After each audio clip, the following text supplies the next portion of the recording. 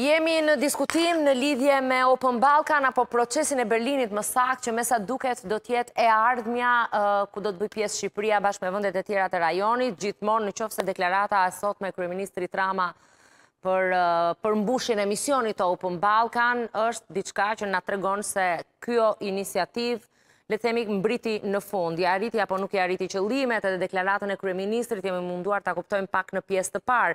Sigurisht të ftuar të tjerë do të na bashkohen tani, kemi një grafik për gjithë ata që duan të kuptojnë në mënyrë të përmbledhur çfarë ishte Open Balkan dhe çfarë ishte dhe është procesi i Berlinit dhe për të bërë një lloj krahasimi që do të na ndihmojë besoj për analizën në vazhdim ku do të bashkohen me ne Kreshnik Spahiu në lidhje të drejtpërdrejtë me Skype Xhelal Neziri, një koleg analist nga Maqedonia e Veriut, që sigurisht ka qenë, le të themi, afër edhe larg procesit të Open Balkan, dhe Milaim Zeka nga Prishtina.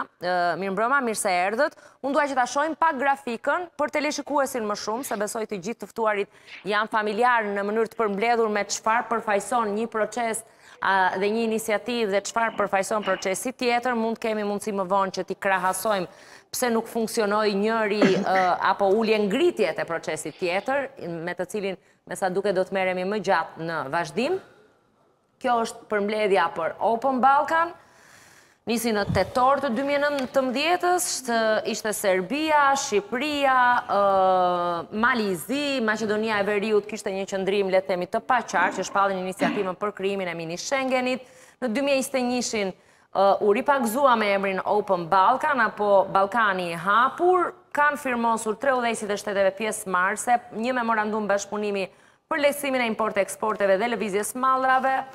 një memorandum bashkëpunimi për tregun e lirë të punës dhe një marrëveshje bashkëpunimi në rast të fatkeqësive natyrore, gjithsesi një dokument zyrtar ku të rreshtoheshin, të renditeshin qëllimet dhe plani i punës, marrëveshjet apo mënyra e zbatimit të tyre nuk pati në gjithë këto muaj. Ndërkohë nga ana tjetër, procesi i Berlinit ka karakteristikat e një nisme politike shumëpalëshe mes vendeve të Ballkanit Perëndimor. Ju lutem regjia, e ndërrojmë grafikën, jemi akoma te Open Balkan. Të shpjegojmë shpejt e shpejt Procesin e Berlinit është një instrument përforcues në shërbim të perspektivës së anëtarësimit në BE dhe të lidhjeve ekonomike dhe politike midis vendeve të Ballkanit Perëndimor. Në dy mijë e katërmbëdhjetë, në njëzet e tetë gusht u prezantua nga Angela Merkel, në atë kohë kancelarja gjermane, synon rritjen e bashkëpunimit rajonal në Ballkanin Perëndimor dhe ndihmon rajonin për integrimin e Bashkimit Europian Katër objektiva përmban, zgjidhjen e problemeve bilaterale dhe të brendshme të shteteve të Ballkanit, krijimin e një baze për një rritje të qëndrueshme ekonomike, përmirësimin e bashkëpunimit ekonomik rajonal,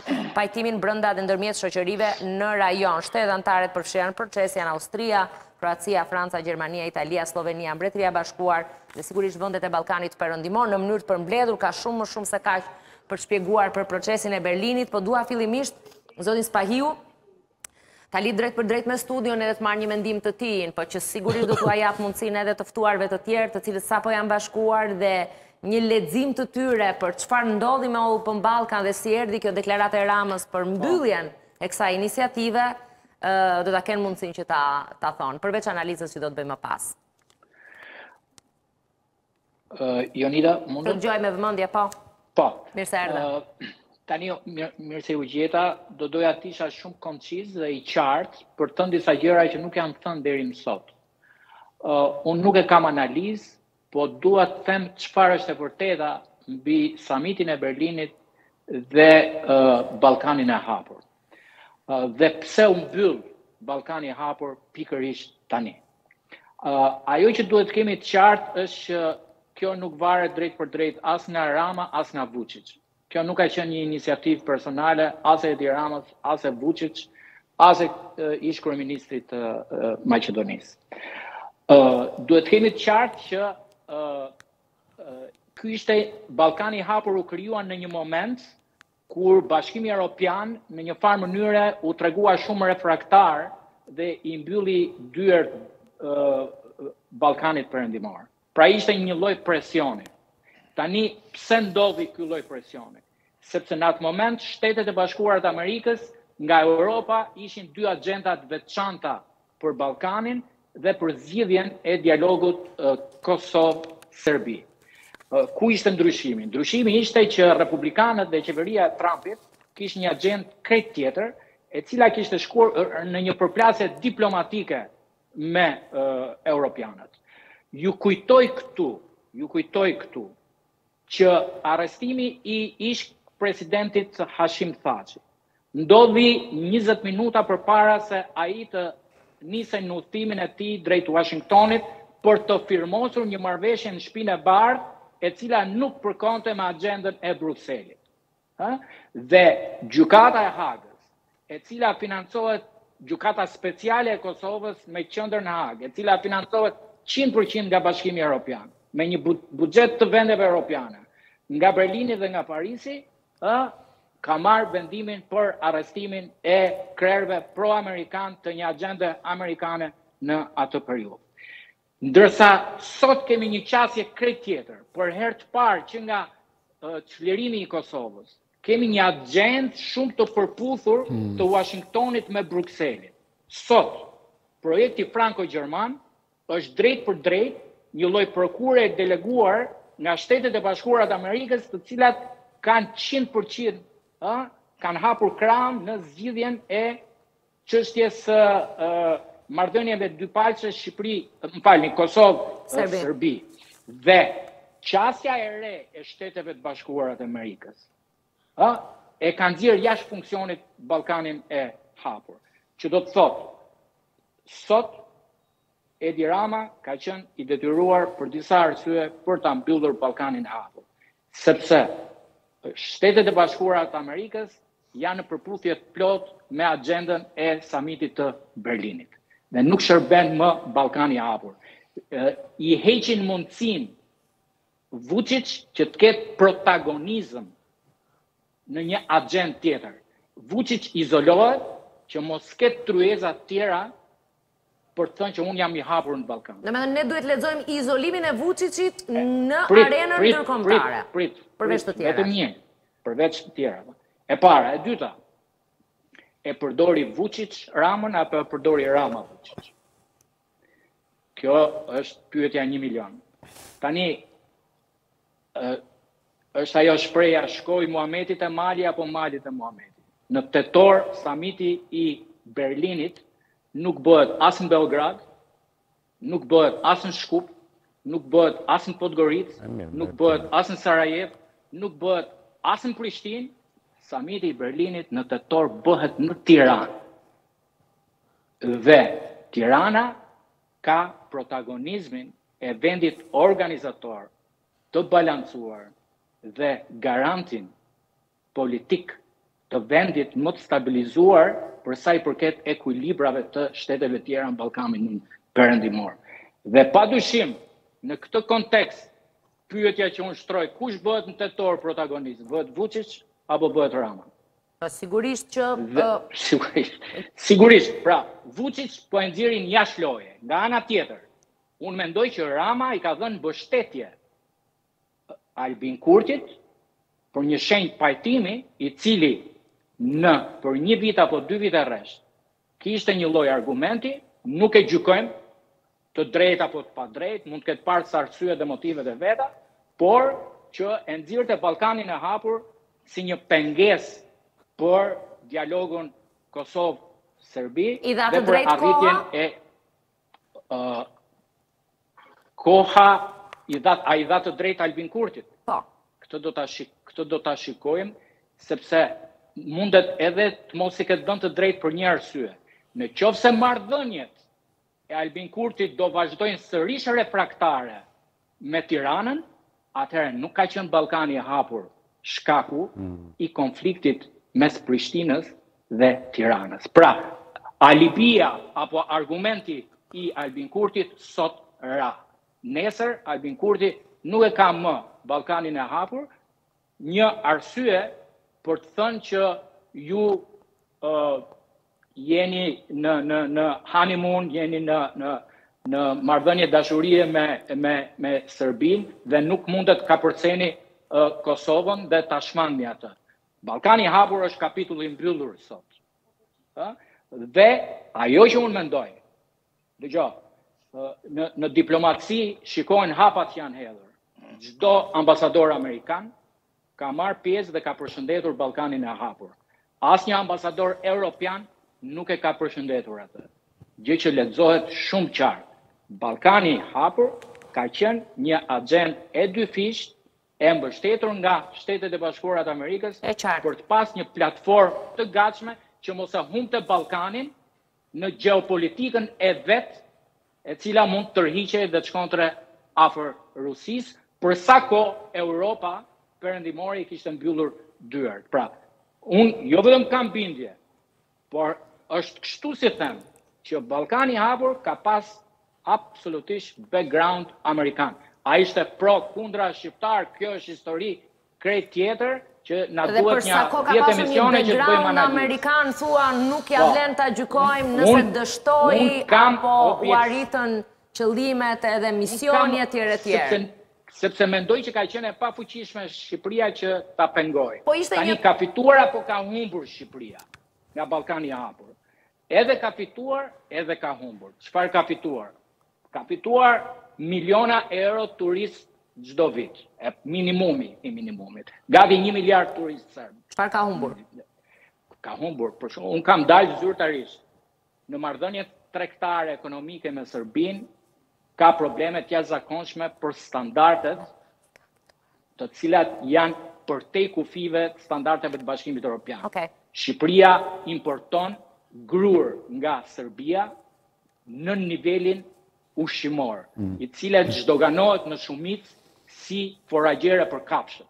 Shqiptarët ushqehen me grurë foragjere kafshësh duke u bërë produkt buke. Dhe këtë e them me fakte.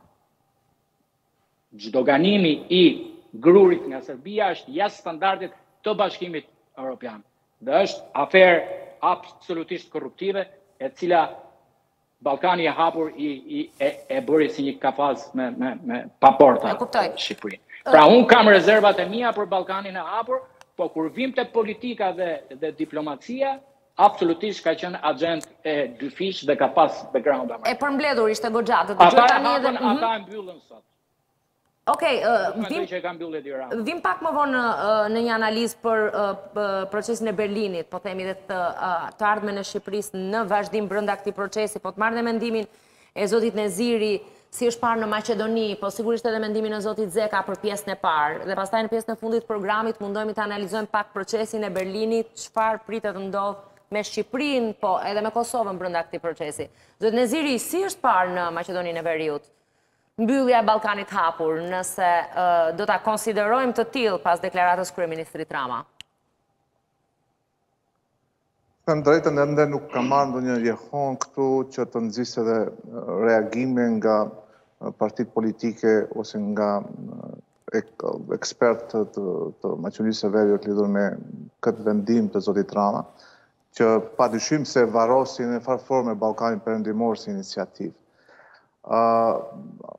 Këtu të gjitha anketat, por edhe partitë politike publikisht kanë dhënë mbështetje për iniciativën Ballkani i Hapur dhe e kanë parë të njëjtën si një përplotësim të atij boshllëku që u krijua nga mungesa e vullnetit ose perspektivës evropiane ose zgjerimit evropian si proces në drejtim të Ballkanit Perëndimor.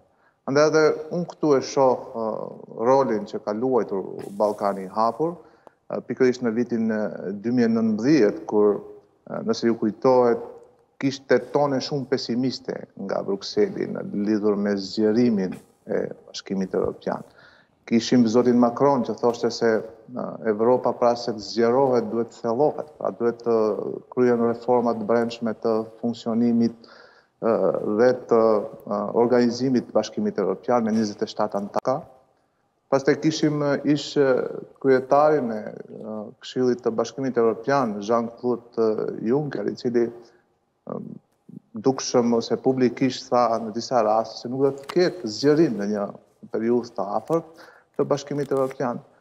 Po ashtu kishim edhe një lloj bllokade që bëri Franca me imponimin e një metodologjie të re në drejtim të procesit të negociatave dhe të zgjerimit të Bashkimit Evropian dhe gjitha këto aktivitete dhe gjitha këto qëndrime publike të Bashkimit Evropian sikur i dhanë Ballkanit Perëndimor një mesazh se nuk është BE-ja e gatshme që t'i pranojë në Union. Nuk është BE-ja e gatshme që të zgjerohet. E qartë, po sot... Në situatë të këtillë... Zoti Neziri, sot, përveç këtij background-i historik, si erdhëm deri tek Ballkani i Hapur, është një lajm i mirë apo Një lajm jo fort i mirë, të paktën në Maqedoninë e Veriut. Megjithëse është ende e herët për të pasur reagime, ju si mendoni çfarë çfarë reagimesh do të ketë, si do të pritet në Maqedoninë e Veriut? Unë mendoj se nuk nuk do të pritet nuk do të pritet mirë, për shkak se siç e thashë ka një është iniciativë që ka një mbështetje goxha të madhe në opinionin publik. Pra gjitha anketat e tregojnë se diku tetëdhjetë për qind e mbështesin këtë iniciativë. Po ashtu edhe partitë politike kanë qenë suportive ndaj Open Balkan. Dhe ky lajm natyrisht se nuk do të pritet mirë në në Maqedoninë e Veriut. Megjithatë unë që nga tetori i vitit të kaluar kam shkruar një analizë ku kam parashikuar se Ballkani i Hapur nuk do të mund të funksionojë më pasi nuk ka përse të funksionojë. Për shkak se nëse ju kujtohet në tetor të vitit kaluar kishim një samit ose kancelari i ri gjerman në atë kohë mblodhi gjithë liderët e Ballkanit dhe u kumtoi se Ballkani i Hapur jo vetëm që do të vazhdojë, më falni, Procesi i Berlinit jo vetëm që do të vazhdojë të funksionojë në të ardhmen, për shkak se kishte dilema se pas largimit të zonjës Merkel nga politika, a do të vazhdojë apo jo.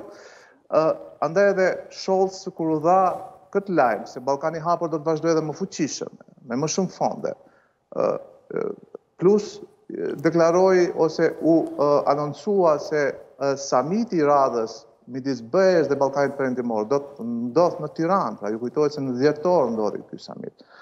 Ishte një sinjal se kancelari i ri gjerman dëshiron që Ballkani i Hapur, më falni, Ballkani Perëndimor të funksionojë ose të organizohet rreth procesit të Berlinit. E kuptoj. Jo rreth Ballkanit të Hapur. Mirë, të shoh si... Dhe kjo që po mhm. ndodh sot, mendoj se është një pranim i kësaj oferte nga zoti Rama, që duke lënë anësh Ballkanin e Hapur, të bëhet Tirana qendër, një lloj qendre e procesit Berlinit. Dhe mendoj se ka qenë një vendim ose një hap i mirë i kryeministrit shqiptar, duke parë nga perspektiva e Shqipërisë, pra nga interesat e Shqipërisë. Të shoh si është lexuar në Prishtinë, pavarësisht se kisha zotin Haxhiu për një analizë në pjesën e parë, shumë kurioze jam zoti Zeka, si do të pritet Prishtinë mbyllja e Ballkanit Hapur dhe kalimi mbase me ritme të tjera në procesin e Berlinit? Tani, për hir të vërtetës, në Prishtinë nuk ka asnjë reagim, asnjë përshkrim. Në Prishtinë jemi të gjithë të shqetësuar që para disa orëve morëm lajmin e zi nga Bashkimi Evropian që tani zyrtarisht Kosova ka hyrë në sanksione.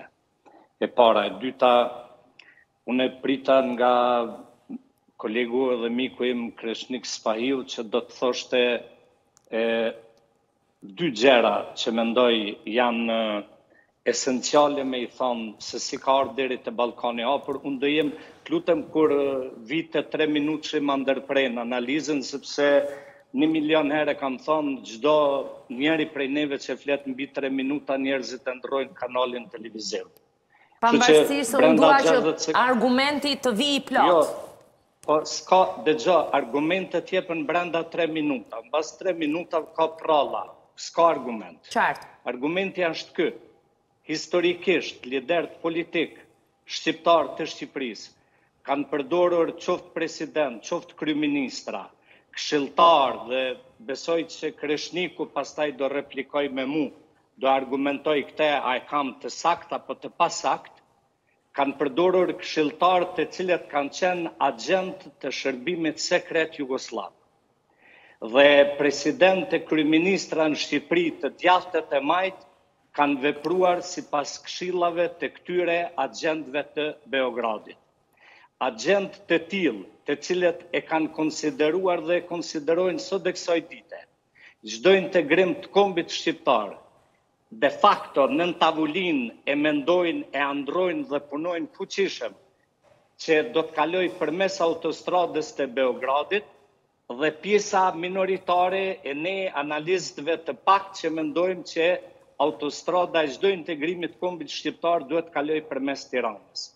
Në vendet perëndimore ku jeton Kreshniku në Gjermani edhe une ku kam jetu gjithë jetën time në Suedi I kemi bo një filtrim edhe analistëve të ndryshëm të cilët kanë ardhur dhe i kemi përdor nëpër emisione televizive se prej çfarë historiku vijnë dhe çfarë rrymash politike ata prezantojnë nëpër studiot tona televizive. Do thotë, në qoftë se ti, ti, ke analizë... Eja tek argumenti që duam, si, si thelb, lutem. Ja do vij te argumenti që duam. Argumenti është ky që Edi Rama ra në kurthin e këtyre këshilltarëve për Ballkanin e Hapur. Edi Rama dhe Hashim Thaçi ranë në kurthin e njerëzve pro-serb dhe pro-rus për dizajnimin e shkëmbimin e territoreve. Do të normalizohen. E kuptoj. Jo, nuk e di ma do të normalizohen. Do normalizohen raportet e Prishtinës me Tiranën tani e tutje? E dashur, të jap një diçka që në emisionin e fundit kur kemi qenë për informacionin tënd se mbase nuk e ke përcjell, po të gjitha mediat edhe në Serbi më kanë citu për atë që të thash për punën e e Kurtit. Po sigurisht që e kemi përcjell, pastaj nëpërmjet nesh e kanë marrë mediat. Mirë. Në Serbi apo kudo tjetër. Po, ne, edhe në Afganistan, po unë thash që në emisionin tan kam qenë. Se s'thash që kam dhon ndonjë intervistë n'hanë, po në emisionin tan kam qenë. Po du me të thon një diçka që Merkeli i telefonoj Boris Johnsonit dhe Boris Johnsoni e bindi Trumpin që të arrestojë Hashim Thaçi. Presidenti i Kosovës, do thësht, do thot, ishte lobi i fuqishëm serbo-rus që arrestuan Hashim Thaçin, i cili pas Ibrahim Rugovës, ishte i vetmi njeri kompetent që mund të arrinte një marrëveshje përfundimtare me Serbinë. Dhe, Ballkanin e Hapur e ndrydhi e e shtrydhi Edi Rama deri sot, dhe qysh thot Kreshnik Spahiu, kur ky mori urdhrat nga qasjet tjera politike të Washingtonit dhe kur i thanë që mjaft se ky limon nuk shtrydhet ma dhe kthehu këndej, ashtu siç e ndërpreu me urdhrin e amerikanëve dhe direkt të Stoltenbergut konferencën mes Kosovës dhe dhe Shqipërisë në Gjakovë, Ky mori një hap të jashtëzakonshëm, shumë pozitiv, që sot në zhargonin popullor u hallashtis me Open Balkan. Zoti Spahiu tha pak përpara, në mos gaboj, Vuçiç po izolohet. Ishalla, ishalla del fjala e. Besoj e dëgjove si argument. Po zoti Spahiu, patjetër, nëse ke diçka për të shtuar. Po, kam sepse është qasje shumë e rëndësishme kjo që jep zoti Zeka. Gjermania, që është një nga vendet që njihet për politikën e vet tërësisht patriotike për vendin e vet, njihet një nga kombet të cilat gjithë shtetin dhe institucionet i ndërtojnë me patriotizëm. Dhe rezulton që tre nga partitë kryesore, Janë financuar në njëzet vitet e fundit nga Moska, nga Rusia, nga financime ruse, nga Rusia. Franca, për gjithë ju për për po, këshilltar francez, Kreshnik, kombi francez, për këshilltar. Vetëm ta mbaroj Milaim një sekond. Po, po, po, kombi francez shumë, ka partitë, jo ja, i bie shumë shkurt. Po. Hajde. Edhe Franca ka partitë kryesore. Tani a mendon kush Që Tirana, Prishtina dhe Shkupi nuk janë blerë politikanët shqiptarë absolutisht po. Jemi një komb me dhjetë milion shqiptarë pro amerikanë dhe pro perëndimorë, por kemi dhjetë liderë të cilët janë anti amerikanë dhe anti perëndimorë. Jo me bindje. Po sepse kanë mision. Janë njerëz të paguar dhe të investuar në Tiranë, në Prishtinë dhe në Shkup. Absolutisht janë pjesë e e investimeve dhe shërbimeve për të çuar këtë mision dhe konflikt me Perëndimin. Po vijmë pak tek, vijmë pak tek Open Balkan, te procesi i Berlinit, se këto janë tema që sigurisht mund t'i trajtojmë një ditë tjetër përtej këtyre dy proceseve. Gjermania dhe Franca kanë marrë protagonizmin e zgjidhjes së parë të çështjes Kosovë-Serbi, dhe e dyta të integrimit Ballkanit Perëndimor. Në këtë kontekst, vendimi për mbylljen e Ballkanit Hapur ishte një çok për të përmirësuar marrëdhëniet e Tiranës me Berlinin dhe me Parisin, të cilat kishin një rezervë që shqiptarët shkojnë gjithmonë sipas një axhende qind për qind amerikane dhe kanë për borxh t'i bien ndesh BE-së. Në momentin që qeverisja e Bidenit ka përputhje me qeverinë e Berlinit dhe të Parisit, atëherë është shkuar drejt për drejt në këtë që them. Pra, është në një farë mënyre një lloj goditje për po, samitin e po, Berlinit. E the, cili, e the atë, po, po dil, dil te ajo që e thash, që e ngrita si temë, Dil te këshilltarët e presidentëve dhe kryeministrave Shqipërisë qe po sa shtë po kjo po nuk asht tema jonë sot po mjafton zoti Zeka ngritët ju si tem ti si tez mund ta mbështet zoti spahiu po ore ore ti a e bone pytjen prej nga ka ardhë ballkani i hapur Dikush e ka dhënë si ide. Në fakt pyetja, pyetja ime ishte si është pritur në Prishtinë, a janë pozitiv po, apo po, negativ? Po, për atë, për atë po debatonim edhe ta thash që në Prishtinë fare nuk asht prit as ka asnjë rresht që shkruhet lidhur me këtë asnjë reagim.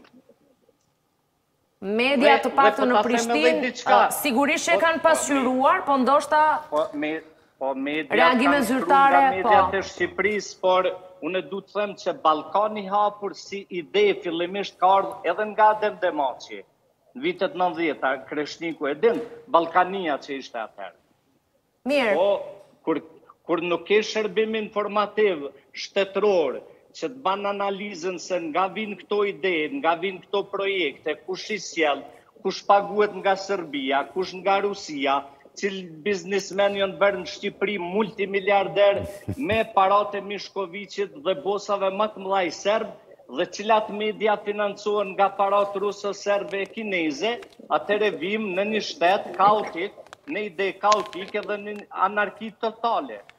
Më lër të shkoj pak në publicitet, edhe të kthehem pastaj për të folur pak edhe për procesin e Berlinit, se me sa duket kjo do të jetë e ardhmja dhe le të themi Ballkani, Ballkani i Hapur mund të vazhdojë të analizohet, po sido që të jetë do të jetë e shkuara. Ke diçka për të shtuar për çfarë po diskutonim sot qoftë zoti Zeka, teza që hodhi, po, apo zoti Spahiu. Jo, dhe një gjë shumë e shpejt. Edhe Ledioni mund të shtoj diçka nëse. Është e vërtetë që Tirana do jetë protagoniste, po jo sepse ka punuar për të qenë protagoniste.